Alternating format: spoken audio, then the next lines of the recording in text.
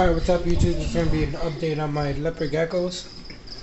I moved them from the 20 gallon to the 26 gallon, which is um old. And the reason for that is uh, obviously because it's bowl shaped. The front of the glass is bent. So from this angle it looks straight, but actually it's actually curved.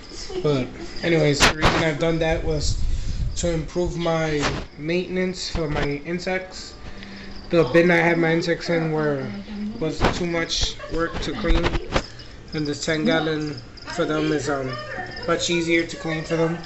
What I do is push the dirt to the corner and then eventually clean it up.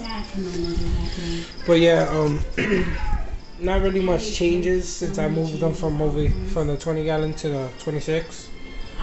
All I really did was add in a new rock, and actually enjoy climbing on it and what I did to blend in the rock to the environment was I grabbed sand and I threw it at it to give it a desert design.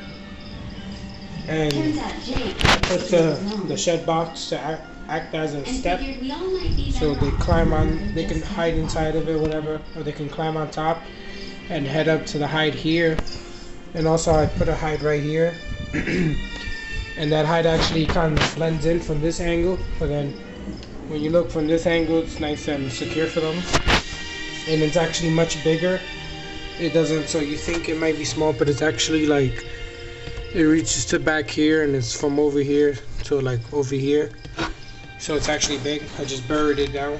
And then this also acts as a hide. Sorry about the crickets chirping. But yeah that's pretty much what I did. And here's my oldest leopard gecko and technically my first. Just walking around. And then my second leopard gecko is hiding inside of the shed box. And I'm not gonna get her out because I'm gonna have to unbury everything. But comment below if you like it or not, and if you have any questions on how I did things. Like this little panel right here, I just used a like there was a a metal bracket that was shaped as a U and I just put it buried in the sand and I put the pan the tile on top and I just taped it around so the sand won't fall in the cracks and make it look retarded. But yeah, that's pretty much it. Now I'm just talking. And here goes pretty much my first leopard gecko. She's the calm one out of the two. The um, the orange tail or carrot tail, whatever you call them. She's always hyped up and she's trying to like fight me off every time I grab her. This one's actually curious today. Usually they're always hiding, but it's probably due to it's nighttime. All the tanks are off right now. And then Wanda couldn't hold on to the secret any longer. Yeah, alright. End of my video. Peace.